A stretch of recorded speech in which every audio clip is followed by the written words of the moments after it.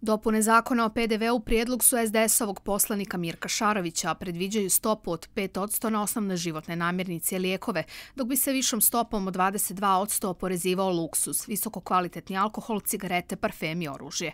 U analizi Uprave za indirektno oporezivanje navodi se da diferencirane stope PDV-a neće značajno pomoći građanima, te da bi mogle donijeti dvostruku veću korist bogatima nego siromašnima.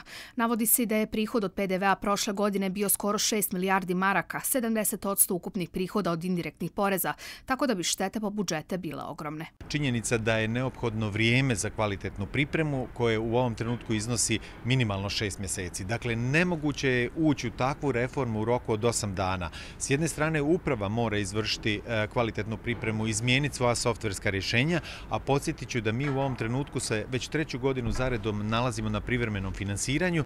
Izmene zakona o akcizama prijedlog su opozicijonog SDP-a BiH. Suspenzija akciza na naftu i naftne derivate na najmanje pola godine bi smatraju značajno pomogla građanima koji sada po litri goriva plaćaju državi između 30 i 40 feninga. Kada pojeftini gorivo, kažu SDP-u, trebalo bi da pojeftini skoro i sve ostalo. Za njih je mišljenje uprave očekivano.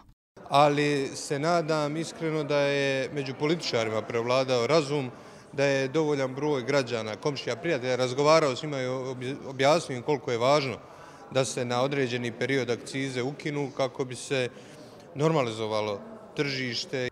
Izmjene zakona o akcizama upravi za indirektno oporezivanje neprihvatljive su iz više razloga. Kada bi zaživjela očekivan gubitak prihoda, bio bi namenje 265 miliona maraka za pola godine.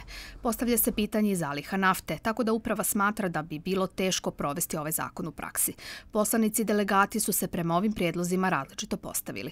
Neko misli da ćemo mi akcizama nešto riješiti. Apsolutno ništa nećemo riješiti akcizama ali čitav fiskalni paket, ako suglasimo, onda imamo šansu da popravimo standard građana. Ono što, bi, što je moguće u ovoj situaciji da je e, zakon o izmjenama, odnosno ukidanju akciza u predsjedničkom domu usvojen u jednom obliku, ovaj prijedlog je nešto drugačiji.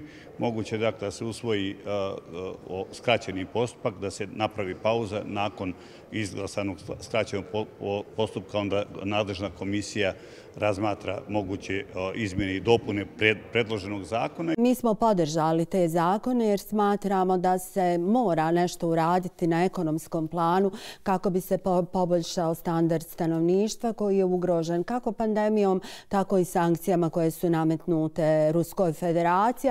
Dopune zakona o PDV usvojene su u predstavničkom domu 9. marta. Dom naroda odbio je da po hitnom postupku razmatra izmene zakona o akcizama, nakon čega je dokument poslat kolegijumu Doma naroda na dodatno usaglašavanje.